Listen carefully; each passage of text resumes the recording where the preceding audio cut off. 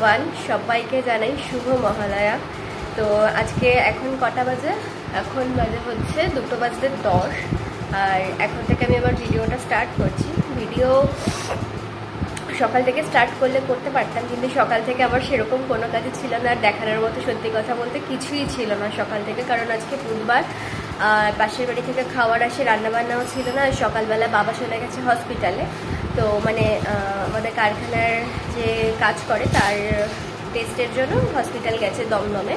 তো সেজন্য বাবাকে সকালবেলা উঠে খাওয়া তো টিফিনটা বানিয়ে দিয়েছি। আর মহালয়া দেখার জন্য তো আজকে সকালবেলা এমনি উঠেছিলাম পাঁচটার সময়। তো তারপরে আর কোনো কাজে ছিল না, মামামের সাথে খেলা ছাড়া। তো ওর জন্য আর সকাল থেকে ভিডিওটা বানাইনি। আর এখন দেখতে পাচ্ছ রেডি হয়ে গেছে, আর এখানে মা এখন খাচ্ছে। আজকে আমাদের দুপুরের খাওয়ার ছিল হচ্ছে ডাল, পটল ভাজা আর ভোলা মাছ। তো মার খাওয়া হয়ে গেছে, বাবা তো এখনও আসেনি। বাবার আস্তে আস্তে বিকেল হবে। আর এখন দেখতেই পাচ্ছ, পুরো রেডি হয়ে গেছি সেজে গুজে। আজকে অনেকদিন পর একটু সুন্দর করে সেজেছি। তো এখন যাচ্ছে হচ্ছে আজকে আমার দিদির আর রাজাদার শপিং করতে। ফাইনালি আজকে আমরা যাচ্ছি। অনেকদিন ধরেই যাব যাব যাব যাব করছিলাম। তো ফাইনালি আজকে যেতে পারছি। কিন্তু যখনই যাব বলেছি, বাইরে এখানে মেক করেছে, ঠিক আছে? তো রেডি হয়ে গেছে, ওই ঘরে রয়েছে। তো তো চলো বেরাই এখন।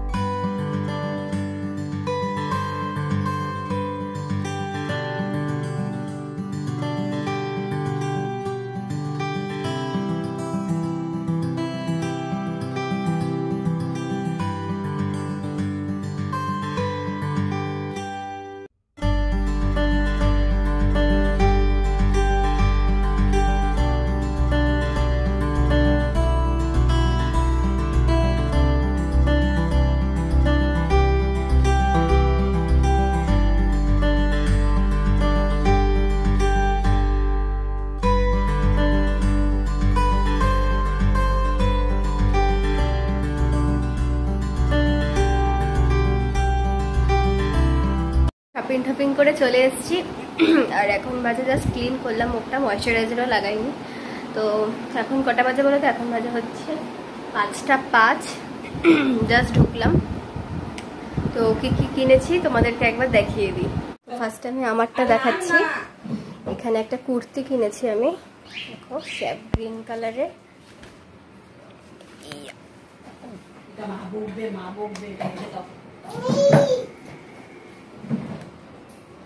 একটা কুর্তি কুর্তির সাথে একটা লেগিংস রানি কালারের। এটা রেড লাগছে বাট এটা রানি কালার। আর সরিয়ে দিয়ে পরে ভাজ করব। এটা একটা টপ। টপটা আমার সত্যি খুব পছন্দ হয়েছে।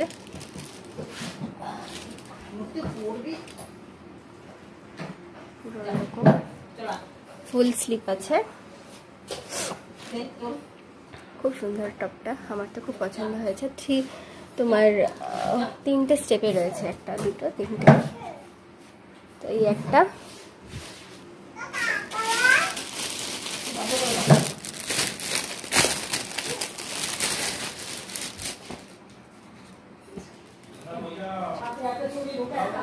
এটা হচ্ছে জিন্স।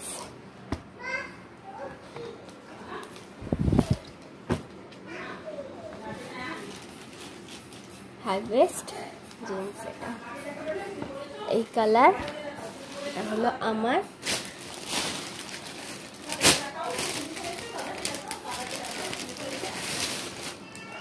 দিদি কিনেছে এই শাড়িটা। ব্ল্যাক ভেতরটা রেড রেডটা আমি ঠিক দেখাতে পারছি না এখন একটা ব্ল্যাক অ্যান্ড রেডের মধ্যে দিদি এই শাড়িটা কিনেছে আর আগের দিন বাবার জন্য কেনার সময় হয়নি। তো সেই জন্য বাবারটাও কিনেছে। দেখাচ্ছি দাঁড়াও। রাজাদার আজকে কেনে কেনেনি রাজাদা পরে কিনবে বলল। গেঞ্জিটা কিনেছে বাবার জন্য। খুব সুন্দর কালার এটা। তিনটে কালার আছে এখানে। তো এই হচ্ছে তোমাদেরকে দেখালামই। আর এখন সন্ধেবেলা দুধ ফুদ খাওয়া হয়ে গেছে, আর এখন যাচ্ছি মায়ের সাথে একটু বেরাচ্ছি আর বাবা তো ফিজিওথেরাপি করে, তো বাবা ওখান থেকে একটুখানি আসবে। কিছু টুকটাক জিনিস কেনার আছে মার জন্য। মা কিনবে। আমাদের দুপুরবেলাই বলেছিল যে এগুলো এগুলো নিয়ে আসিস, কিন্তু মানে বৃষ্টি, এত মেঘ করেছিল, আর ঝিরি ঝিরি বৃষ্টি করছিল তো তো ওই জন্য তাড়াতাড়ি চলে এসছি। তারপরে কুচকি উঠে গেছে ওই জন্য আর কি কেনা হয়নি। তো ওর জন্য মা বলল, তাহলে চল। মানে সকালবেলাটা আমি পুরোটাই বিশ্রাম পেলাম আর সন্ধ্যেবেলা থেকে পুরো দৌড়াচ্ছি দুপুর থেকে। তো যাই হোক, এখন যাই, কী কী কিনবে দেখি, তারপর তোমাদেরকে এসে দেখাচ্ছি কী কী কিনলো।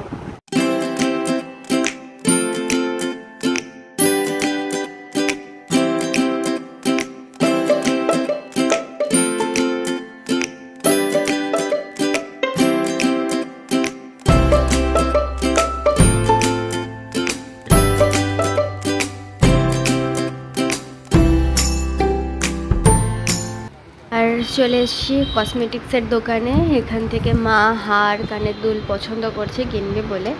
আর এখানে দেখো কি সুন্দর সুন্দর জুয়েলারি পা মানে রয়েছে। আমার তো খুব ভালো লেগেছে। তো এগুলো তো আমি বিয়ের আগে যে কোনো এখান থেকে একটা জিনিস কিনবই। আমার তো চুরফুরগুলো সত্যিই খুব ভালো লেগেছে।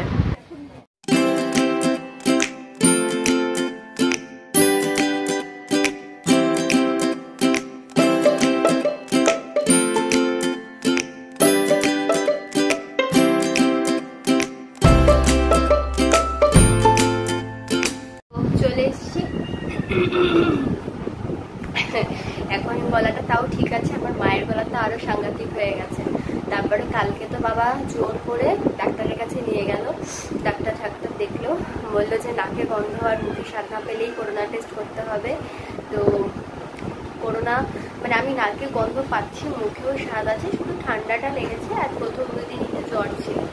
তো ডাক্তারকে সেটা বললাম তো ডাক্তার বলল ঠিক আছে কোনো অসুবিধা নেই কিন্তু যখনই মনে হবে যে না তোমার তুমি নাকে গন্ধ পাচ্ছ না মুখে স্বাদ পাচ্ছ না তো তখনই তুমি ডাক্তার মানে করোনা টেস্ট করিয়ে নেবে আমি বাবা বাবার চেনা শোনা তো বলল যে আপনি এখান থেকে এসে দেখিয়ে নেবে নিয়ে যাবেন যে করোনা টেস্ট করতে হবে।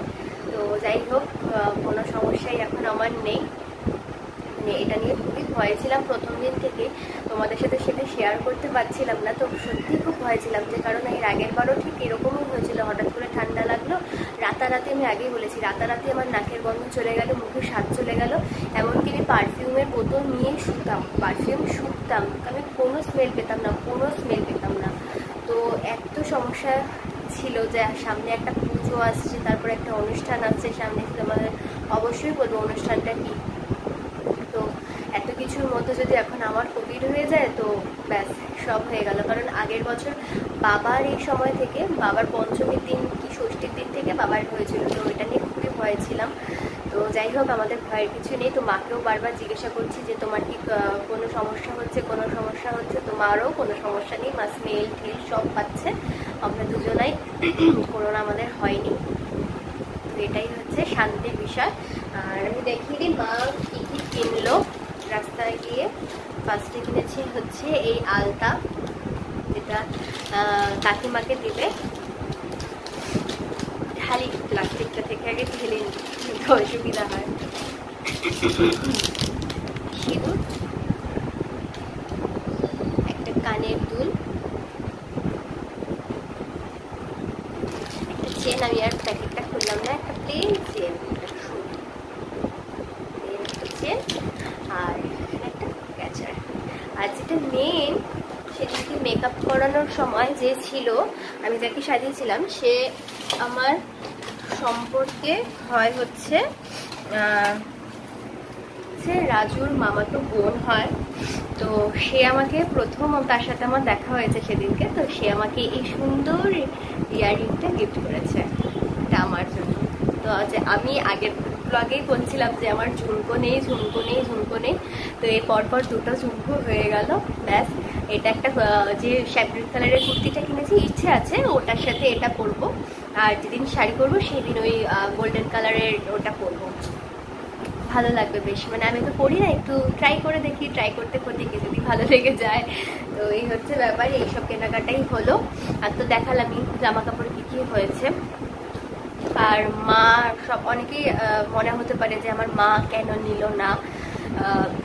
মা নেবে না, মা শাড়ির বদলে অন্য কিছু নেবে, তো সেটা দুদিন পরে নেবে। মাকে অনেকবার বলা হয়েছে, তো মা বলল যে, না, দুই জামাইয়ের বাড়ি থেকে দুই জামাই শাড়ি দিয়ে দিয়েছে, তো এবার আর শাড়ি নেব না। শাড়ির বদলে সামনে একটা বিয়ের অনুষ্ঠান আসছে, সামনের বছর তোমাদেরকে আগেই বলেছি তো সেইগুলোর জন্য আমাকে কিছু জিনিস দে। শাড়ি তো অনেক আছে, বিয়ের সময়ও নিতে পারব।